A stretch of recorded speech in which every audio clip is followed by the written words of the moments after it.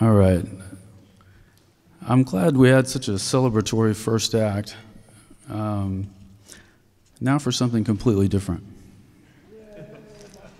I know that's a surprise, but actually, in this case, though, this is not just somber for being for the sake of being somber. Um, on December 3rd, 1983, at 2 o'clock a.m., my brother, James William Holt, died um, from uh, internal wounds after a car wreck. He was 16 years old, I was 12 years old. And uh, so it's December 2nd now. And um, we went through this whole period of, I found out around 12 o'clock, I was a little punk 12 year old um, wearing my ACDC t shirt. And uh, I found out, you know, oh my God, Jim's been in a car wreck. And I was like, oh, what the fuck? What are, what are you talking about? That's ridiculous. Um, he was just out partying with you know his like five friends in the car, and they were doing drugs and everything else. And um, it's no big deal. He'll be back fucking with me here in a minute. Well, then I found out um, after my family had been in the waiting room and whatnot. No, he was really dead. So. These two poems are called The Waiting Room and Silence, and they're dedicated to him. This is the waiting room. This is the place where families cross their legs and stare sightless at unobtrusive art. This is the place where every minute drags like a dead body heaved onto a cart. A mother clasps her hands as if in prayer, then bows her head and curses quietly. A husband thinks that if he'd just seen more, his wife would not be having surgery.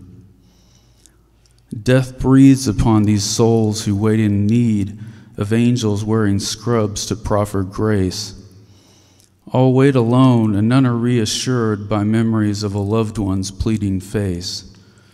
In purgatory, they await the words of gods who fail as often as succeed.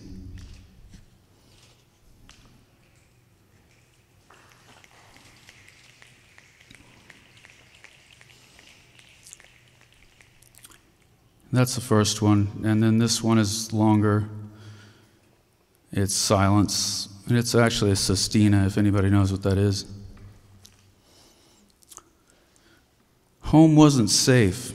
I learned to freeze my tears before they spilled and stow my fears away behind half lidded eyes.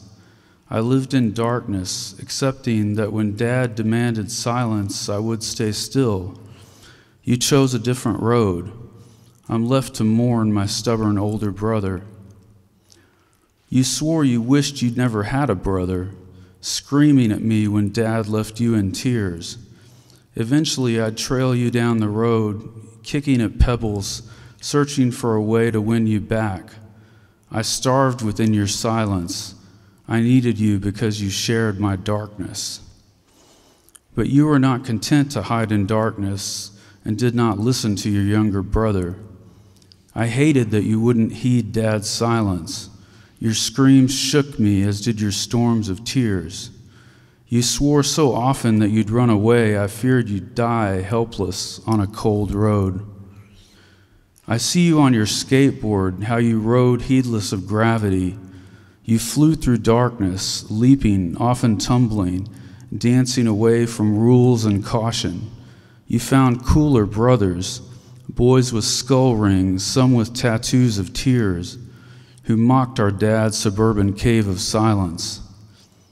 For a brief time with them, you broke your silence, flipping off cars as you flew down the road. But then you came home bleeding, sick with tears, and pummeled me as if I were the darkness. Dad heard me screaming at my older brother and came for you. You didn't turn away. The night you took mom's keys and drove away, I hated you for leaving me in silence. I didn't know that I would lose my brother to rage and alcohol and a lake road where rain beat down like tears of the gods in darkness. But here, tonight, as I stare through my tears, I'm with you on that road that leads away from icy tears, the path to final silence, my brother driving wildly in the darkness. Thank you.